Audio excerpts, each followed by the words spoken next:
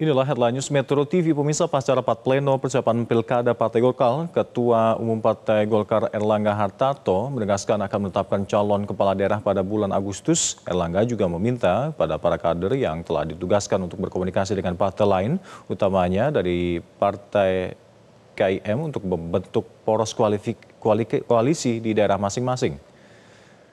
Pada kesempatan ini juga uh, kami menyampaikan kepada seluruh pengurus pleno kesiapan menghadapi pilkada di mana Partai Golkar sudah mempersiapkan secara keseluruhan di seluruh provinsi dan kabupaten kota.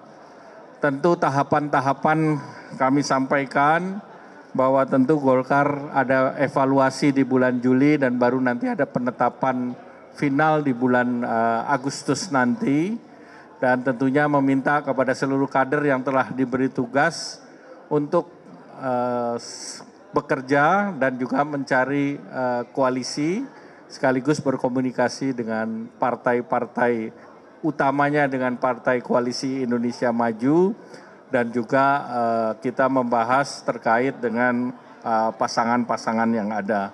Tentu ini masih dalam tahapan-tahapan evaluasi yang dilakukan oleh DPP Partai. Jelajahi cara baru mendapatkan informasi. Download Metro TV Extend sekarang.